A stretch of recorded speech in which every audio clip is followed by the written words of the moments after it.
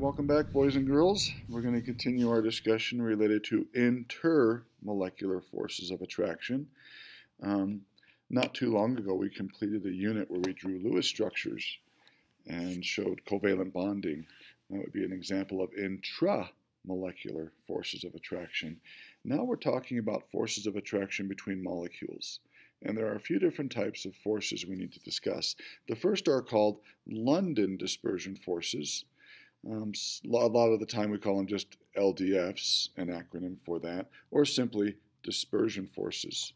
So take, for example, oxygen. If you folks remember oxygen, we draw the Lewis structure for that. There's a double bond between the two oxygen atoms, and you can see that there's no dipole. The electrons are shared completely evenly uh, between the two oxygen atoms. Um, under the right conditions, however, oxygen molecules can be compressed into a liquid. In other words, there's some force of attraction between this oxygen molecule and a neighboring or neighboring molecules. Somehow, these guys are attracted to each other, and that force of attraction is called an intermolecular force of attraction. So if it's nonpolar, there's no positive and negative end, is there? So what's causing them to be attracted to each other to condense from a gaseous state where the molecules are really far away from each other to a liquid state where they're fairly close to each other. Well, that force of attraction is called a dispersion force. Dispersion forces are weak forces that result from temporary shifts in the density of electrons in the electron cloud. Dispersion forces are something called, sometimes called London dispersion forces, or LDFs, after the German physicist who first described them uh, Fritz London. So a lot of times we like to think of the electron cloud that surrounds an atom as a nice pretty spherical cloud, a nice round sphere and um, it's not undulating at all. When in reality it does. It moves from side to side, top to bottom, forward and backwards. And so sometimes for a moment if this is the nucleus of the atom right there, that cloud might be to the left of the nucleus. And that would make this side of the molecule positively charged for a moment, and this side of the molecule negatively charged for a moment. We call those temporary dipoles. And so as the oxygen molecules experiences, experience this, the positive end of one molecule that's temporarily there could be attracted to the negative end of another molecule that's there. Um, and that's what we call London dispersion forces. Once again, these are very, very weak forces of attraction. And so in order to, to liquefy something like oxygen, the temperature needs to be quite low. Now, dispersion forces exist between all particles, even those that are polar. Um, dispersion forces are weak for smaller particles, and these forces have an increasing effect as the number of electrons involved increases. Thus, dispersion forces tend to become what as the size of the particle increases? Well, if you listen, they tend to become stronger so the bigger the particle, the more electrons it has, the stronger the LDFs. For example, fluorine, chlorine, bromine, and iodine exist as diatomic molecules, just like oxygen a moment ago. Recall that the number of nonvalence electrons increases from chlorine, uh, from fluorine to chlorine to bromine to iodine. Because the larger halogen molecules have more electrons, there can be a greater difference between the positive and negative regions of their temporary dipoles, and thus stronger dispersion forces. This difference in dispersion forces explains why fluorine and chlorine are gases.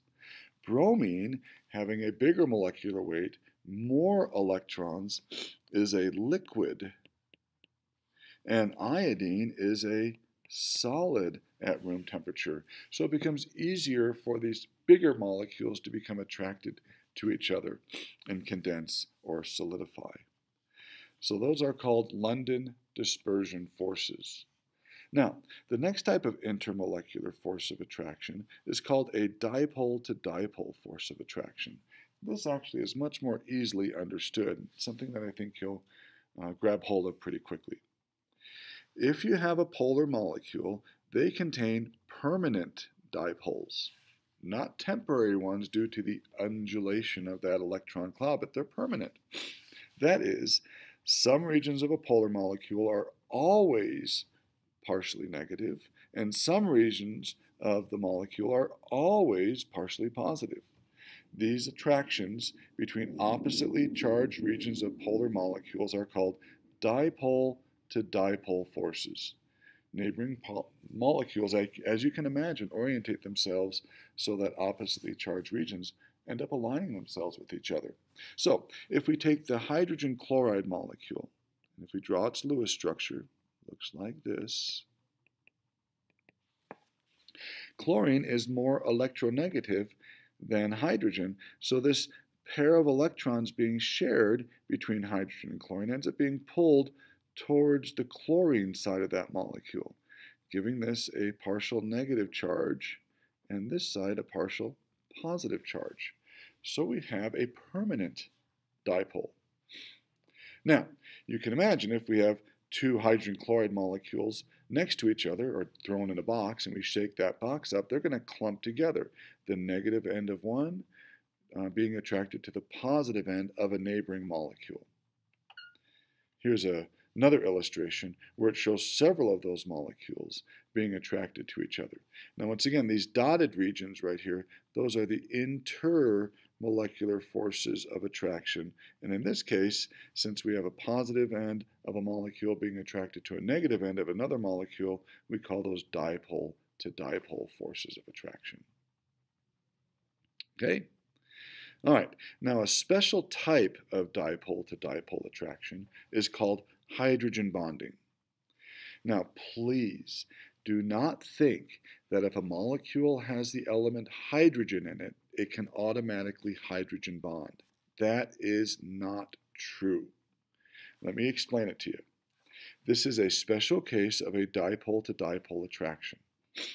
Hydrogen, in order to be able to hydrogen bond with a neighboring molecule, must be bonded to either N, nitrogen, O, oxygen, or fluorine. As you recall, N, O, and F are the three most electronegative elements. So, if I have a molecule like HF or H2O or NH3 or CH3OH where hydrogen is directly bonded to nitrogen, oxygen, or fluorine, we can, we can form with another or neighboring molecule a hydrogen bond. Please remember, it is not a bond between hydrogen atoms. So let me explain it a little bit more. Um, the classic example is hydrogen fluoride. So there's the Lewis structure for hydrogen fluoride. Right there. Now, fluorine has an electronegativity of really close to 4. Hydrogen's is considerably lower. This pair of electrons right here, let's change colors for a sec, this pair of electrons is not shared evenly at all. In fact, the electronegativity difference is so great that there, that pair spends almost all of its time around the fluorine end of the molecule. Now, hydrogen is interesting. Hydrogen only has one electron. So, that one electron is being shared with fluorine. If that one electron spends all of its time around fluorine, what covers hydrogen's nucleus? Yeah, nothing would. And so we end up having what we like to call a bare proton, B A R E. So hydrogen becomes a bare proton. That means there's no electrons covering it. And so a neighboring molecule with its negative electron cloud can get really, really close to that hydrogen nucleus and form a relatively strong dipole to dipole attraction. In fact, it's so strong, we give it its own classification.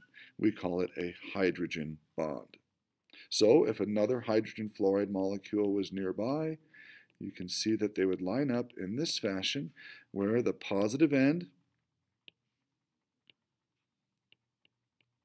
of that hydrogen will line up with the negative end of the neighboring fluorine, and then uh, excuse, uh, the, the negative end of the fluorine in the neighboring molecule, and that is called a hydrogen bond.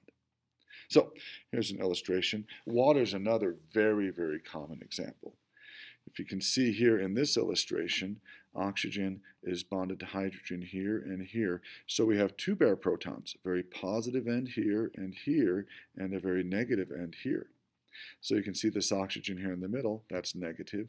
Do you see how it's being attracted to the hydrogen in this neighboring molecule over here, and this one over here? Now these hydrogens are positive, remember, because their electron spending almost all of its time around the very electronegative oxygen. And so it can hydrogen bond with neighboring molecules over here and here. Notice this hydrogen is attracted to the oxygen in the neighboring molecule. So hydrogen bonding is a special type of dipole to dipole attraction that occurs between hydrogen and one molecule and either nitrogen, oxygen, or fluorine in a neighboring molecule. And that hydrogen in one molecule must be bonded to either nitrogen, oxygen, or fluorine. This explains, by the way, why water is a liquid at room temperature. Its molecular weight is only about 18 grams per mole. It does have some LDF forces, but they're relatively weak for that small molecule. So the explanation as to why water is a liquid at room temperature comes because it can hydrogen bond with neighboring water molecules. So let me give you another example here, uh, or three examples. Uh, we have water, methane, and ammonia. Now, if I draw the Lewis structure, kiddos, for methane, it looks like this, and I hope you would agree it is non-polar. Now, if I draw the Lewis structure for water, it's a bent molecule. Remember these non-bonding pairs push those hydrogens down into a bent configuration? And that is a polar molecule. And so is ammonia. That's a trigonal pyramid shape. This non-bonding pair pushes those hydrogens down into a pyramidal shape. And so this is all also polar. There's a positive and negative end. But it's a special type of polar molecule because we have hydrogens directly bonded to N, O, or F. So hydrogen's bonded to O in water and nitrogen and ammonia. Now it's bonded to carbon and methane, CH4. The electronegativity difference is not as strong. And so these shared pairs of electrons are shared more evenly. And so hydrogen has electrons covering its nucleus. So in methane, it's not a bare proton. So that would mean that methane would have a very, very low uh, boiling point. And it does, negative 162. And its molecular weight is pretty close to that of water's and of ammonia's. Ammonia would have a much higher boiling point, and it does. It's negative 33 degrees Celsius because it can hydrogen bond. And water has a very high boiling point for its molecular weight. Of course, you know it's 100 degrees Celsius. So it's hard to move water molecules away from each other, to take them from the liquid phase into the gaseous phase because of these hydrogen bonds between water molecules. Okay, so we have LDFs, we have dipole to dipole, and we have hydrogen bonding. So let's do a quick example here. Um, which of these molecules listed below can form hydrogen bonds? for which molecules would dispersion forces be the only intermolecular force, and give reasons for your answer. So, H2, can that hydrogen bond? Now, some students that weren't listening will say, well, sure it can. Hydrogen's bonded to hydrogen. That's a hydrogen bond. No, it cannot. So this cannot H bond. It's a nonpolar molecule. Hydrogen's bonded to itself. So it has only LDFs. So we would expect that to have a very, very low boiling point. It's easy to separate one hydrogen molecule from another. How about H2S? Well, hydrogen is bonded to sulfur here. So remember, it has to be bonded to nitrogen, oxygen, or fluorine, so this cannot H bond either. But if I were to draw its Lewis structure, and I'm going to draw it in its bent configuration because it is a bent molecule, you can see that it's not, um, you can see that the dipoles will not cancel because of the orientation of the hydrogens with respect to the sulfur. So this has a negative end and a positive end. So this has dipole to dipole attraction. as well as LDFs. HCl, hmm, well, H is bonded to chlorine here. Nope, it has to be bonded to nitrogen, oxygen, or fluorine. So no, that cannot H bond. So if I were to draw its Lewis structure, H is bonded to Cl, looks like that. The negative end's over here, the positive end's over here. That is not a bare proton. So it does have electrons covering it part of the time, so it cannot H bond, but it is dipole to dipole. And it also has LDFs, but the dipoles to dipoles are much stronger. And then finally HF, yeah, hydrogen is bonded to fluorine here. This one can hydrogen bond because hydrogen is bonded directly to the fluorine. So this hydrogen, kiddos, is a bare proton. So the next HF molecule can get really, really close, or the fluorine part of the next or neighboring HF molecule can get really close to that hydrogen. Okay? All right, we'll do another example to begin our next video, and then we'll talk about some other forces of attraction between molecules. So we'll see you soon. Bye-bye.